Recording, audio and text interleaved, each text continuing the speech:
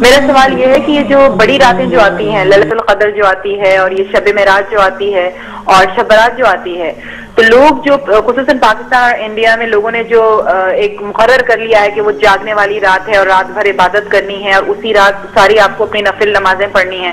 تو میں ہمیشہ اس بات پہ کافی مجھے یہ اس بات پہ کنفیوژن ہوتی ہے کہ عبادت تو انسان کو three hundred sixty five days کرنی چاہیے۔ نفل تو آپ کبھی بھی پڑھ سکتے ہیں، دعائیں تو آپ کبھی بھی کر سکتے ہیں۔ تو مطلب یہ جو راتیں جو ہوتی ہیں، ان کا آپ تھوڑا ذکر کریں گے، بتائیں گے کہ ہم کو کرنا کیا ہے ان راتوں میں۔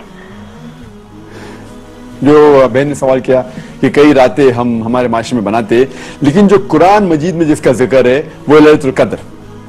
اس کا ایک سورہ بھی ہے۔ اور یہ تھاؤزنز آف ہزاروں راتوں کے مقابلے میں ہیں۔ صرف ایک ہی رات کا ذکر ہے۔ اور میں آپ کی بات سے متفق رکھتا ہوں کہ آپ بالکل صحیح فرماتی ہے کہ عبادت تو ہر روز کرنا چاہیے، سال کے ہر دن میں کرنا چاہیے 365 ڈیز لیکن خصوصاً کیونکہ یہ جو قرآن میں ذکر ہے کہ اس رات میں قرآن نازل ہوا تھا، تو یہ ہمارے لیے ایک اہم رات ہے۔ اور ہزاروں رات کے مقابلے میں ہے الحمدللہ، اور ہمارے رسول، ہمارے پیغمبر صلی اللہ علیہ وسلم فرماتے کہ یہ آخری عشرے میں آتی ہے۔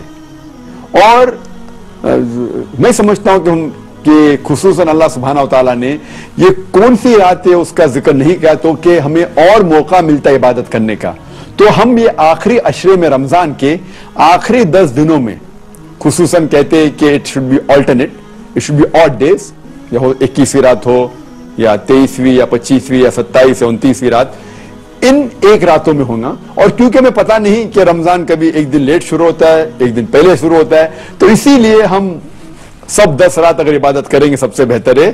یا خصوصاً جو آلٹرنیٹ نائٹس ہے، اکیسویں، تیئیس، پچیسویں ٹوئنٹی سیونتھ ٹوئنٹی نائنتھ تو ہمیں موقع ملتا ہے اور عبادت کرنے کا۔ لیکن اس وقت آپ جو عبادت کریں گے، آپ کا جو ثواب ہے، وہ کئی کئی زیادہ ہوگا تو اسی لیے اللہ کے رسول نے کہا کہ ہمیں ڈھونڈنا چاہیے کہ یہ رات جو ہے، آخری اشرے میں ہمیں ڈھونڈنا چاہیے تو کہ عبادت کرنے کا موقع ہے۔ اور عام طور پہ عبادت کرنے کا ثواب تو ملے گا لیکن خصوصاً رمضان میں ثواب اور ملے گا۔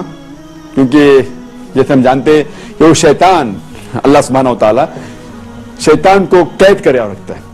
تو ہمیں اور ثواب ملے گا اور خصوصاً رمضان کے اندر آخری عشرے میں اور ثواب ملے گا اور خصوصاً جو آلٹرنیٹ نائٹ سے اکیسویں، تیئیس، پچیس، ستائیس، انتیس، ان راتوں میں اور ثواب ملے گا۔ اسی لیے ہمیں ان راتوں میں کوشش کرنا چاہیے کہ جاگنا چاہیے اور عبادت کرنا چاہیے۔ لیکن سال کے، اس کا مطلب یہ نہیں کہ باقی دنوں، باقی رات میں بات نہیں کرنا چاہیے۔ ہر روز کرے تو بہت اچھا الحمدللہ۔ لیکن کئی راتیں جو باقی ہمارے معاشرے میں بنائی جاتی ہے، اس کی دلیل کوئی صحیح حدیث میں نہیں ہے۔ جو دلیل صرف ہمیں ملتی ہے، وہ وہ ہے خصوصاً القدر کے بارے میں۔ Hope question